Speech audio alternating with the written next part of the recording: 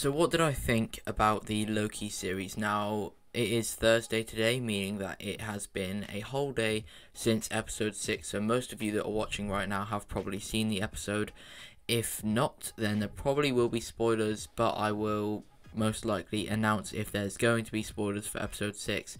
But anyway, I would assume you would have watched episode 6 by now if you're watching a video about the whole Loki series. But I'm going to give my thoughts on some specific episodes, um, the flow of the series, like the series as a whole, um, what I'm looking forward to and expecting of the second season because there is going to be two seasons, and just some general random stuff about the Loki series, how it fares against WandaVision and the Falcon and the Winter Soldier, in my opinion, as well. And yeah, uh, let's get into it.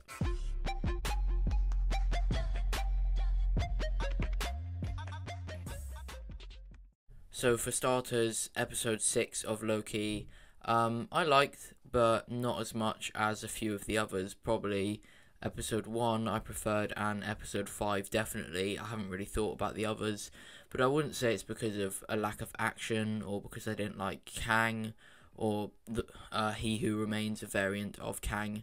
Um, I don't really know why. Uh, it kind of like.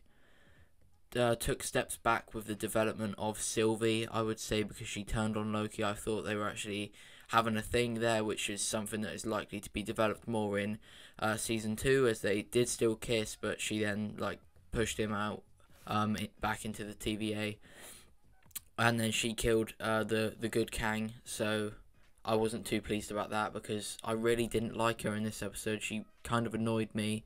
Um, but Loki in this episode, I liked. I liked Kang or the variant of Kang. He was genuinely a good person, and I think it sets up the whole rest of the MCU from now on very very well. Um, because obviously the multiverse kind of like erupted, uh, which is obviously exciting for the Spider-Man movie, the Doctor Strange movie, and everything like that. So in terms of that, uh, that was pretty good in my opinion. Um, but one of my main problems with the series as a whole is I'm not someone that's read the comics, so I failed to understand quite a lot of it. Now, I would say I'm above a casual fan. I've watched all the movies many times. I've watched the series uh, many times, the canon ones, that is. So, WandaVision and The Falcon and the Winter Soldier, and now Loki. Um, and I watch like a lot of Marvel YouTube videos, some of them on the comics. So, I would say I'm above um, a casual fan, but I did still fail to like understand everything that was happening. There was a lot that happened to be fair, and probably on a rewatch I will get it much more, which is fair enough to be fair. Um, but it was just a lot happened, and I felt like it would have been better if there was another two episodes and they just spread out um, everything over like another two episodes. Because the TVA one thing is being huge variants. Uh, is another thing being huge. All of the TVA being variants is another huge thing. Um, Mobius turning is a huge thing. Uh, finding out the timekeepers are controlled uh, by someone and then not knowing who is a huge thing. And then seeing Kang is a huge thing. And then all of that was just crammed into six episodes. It was a lot, to be honest. But that doesn't mean it wasn't good. I just failed to understand it all first time round. So I guess that's kind of my fault, but this is my opinion on the Loki series, so that is something that affects my opinion on it. Um, my favourite episode would be episode 5, and yes, it's probably because it had the most action. I'm gonna be honest, like, classic Loki was incredible in that. Then uh, Loki learned how to enchant stuff with Sylvie. I thought that was really good. Their relationship took big steps forward in that episode. And then we also got to see Mobius and Loki have a hug, which was a nice moment. So that was just like a really, really good episode, in my opinion. And I also mentioned how episode one was really good. Um, I felt like it set up the rest of the the series incredibly well. It just got straight into it. It was long, so everything that happened um, was spaced out, which I think the rest of the series needed to have done a little bit better, which is what I said. Um, so episode one again was really really good. So yeah, um, if I were to give it a rating out of 10, first time round, the chances are second time round, like I said, I will enjoy it more because I'll understand it more. But first time round, I will honestly give it a 7. Now, that is going to be very low uh, for some people because a lot of people have been giving this series a lot of love, and that's understandable because for like fans that know more than me, like I can see the appeal. But I think the Falcon and the Winter Soldier is better because I'm a fan of that kind of MCU movie. The The Winter Soldier is, uh, well, Captain America: The Winter Soldier is one of my favorite movies, and obviously that's kind of like the same vibe as it's like action but still superpowers, kind of. Um, so yeah, I did prefer the Falcon and the Winter Soldier. I preferred every episode of the Falcon and the Winter Soldier to every episode of Loki, bar episode five, beating a few of the Falcon and the Winter Soldier episodes. Um, a lot of people don't agree with that. Um, I've seen people saying it's hands down the best series out of the three, being Loki. That is, um, and I don't think that's the case. Definitely not hands down. Um, and I don't think people will believe that after the hype for Loki has died down, because obviously you can understand why people are like overrating it. They've just seen it, they're so excited. But I think a decent amount of people will prefer WandaVision and the Falcon and the Winter Soldier in maybe a month or two. But I still think Loki will be the like the most loved, which is understandable because Loki is an cre- incredible character and so much happened. And like I said, I think I'm going to enjoy it more on a rewatch. So some people will think it's even more clear of WandaVision and the Falcon and the Winter Soldier. But yeah. However, I do think it's better than WandaVision. I wasn't a fan of WandaVision. The first three episodes are like really really bad in my opinion and then the rest of it is like decent but not great.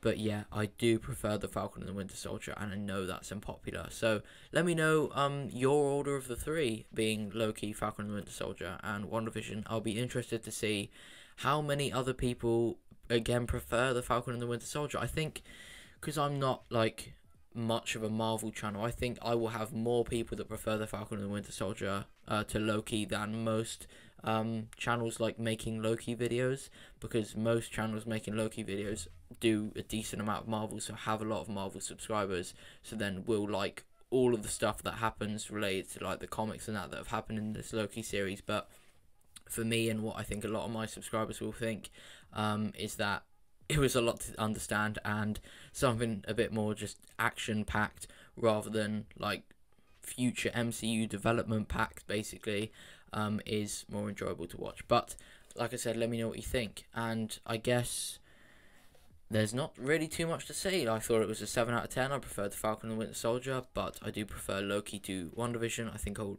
enjoy it more on the rewatch. In terms of the characters, I haven't spoke about that. Renslayer, really didn't like. Um, B15, I think, is uh, the hunter that I'm uh, trying to talk about now. Uh, wasn't a fan at the start, but then when they like talked to um, Sylvie and like kind of like changed their mind, I preferred them a little bit more. Loki, uh, normal Loki was my favorite character in the series. I loved classic Loki. I really liked Sylvie until episode six, and obviously Mobius was great as well. And my predictions for season two of Loki, I really, really don't know. I couldn't tell you. Um, probably a lot more variants, um, I would assume, as the multiverse has erupted. But other than that, I really don't know. Um, one thing that I will say is, I think, because uh, we know episode six, spoilers, um, ended with um, uh, Loki being with a Mobius um, of like a different timeline or being in the TVA of a different timeline and therefore Mobius being of a different one as well. I think Loki will maybe use his recently learned enchantment powers and somehow enchant this Mobius to remember like everything that happened to the Mobius that we've known throughout the series. I think that could happen. Um, because one thing that I did really really like about the Loki series is that they significantly increased his power to any other movie we've seen in terms of his magic, um, which I loved. I think there was a severe lack of just magic from Loki, from uh, Dark World, Ragnarok, well, basically everything he was in other than Avengers, which I think is only them two, right? I'm right in saying that. Um, because I think in the Avengers he did a little bit of magic and it made sense why he didn't do too much because he was in possession of uh, the scepter which had the Mind Stone so he just wanted to use that to be honest. Um, but yeah, I'm glad they significantly increased his power in this series and I think he would now be able to enchant um, Mobius to a level where he gets his memories back that he's never that that version has never actually had. I think um, that would be really cool to see, and I think he will do that. But yeah, I'm excited for season two because Loki is so powerful, and I want to see what else he can do. And I think if I'm gonna make another prediction, that eventually this version of Loki and this version of Sylvie, um, maybe Mobius, maybe not, um, the normal Mobius that is, will find their way to uh, the regular MCU timeline that we're used to with like everything that happened in like Infinity War, Endgame, etc., etc.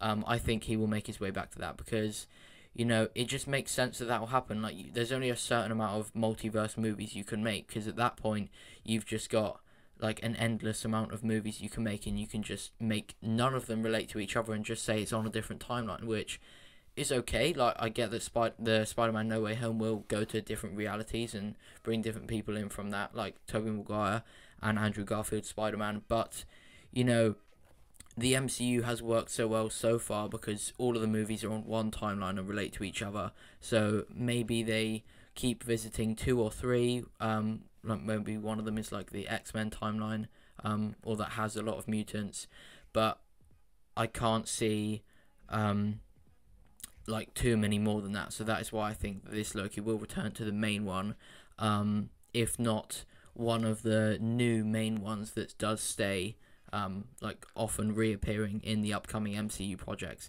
If that makes any sense, that was a lot of waffle, but yeah. Um, thank you for watching. Let me know your opinions on the Loki series. And yeah, thank you for 7.8k subscribers. Please, please, can we get to 8k uh, soon? Because that's just like another milestone, isn't it? And obviously, I want to uh, get there because I'm trying to grow. So yeah, and if you are subscribed, please do uh, click the notification bell. It helps me out a lot. And yeah, thank you for watching. Goodbye.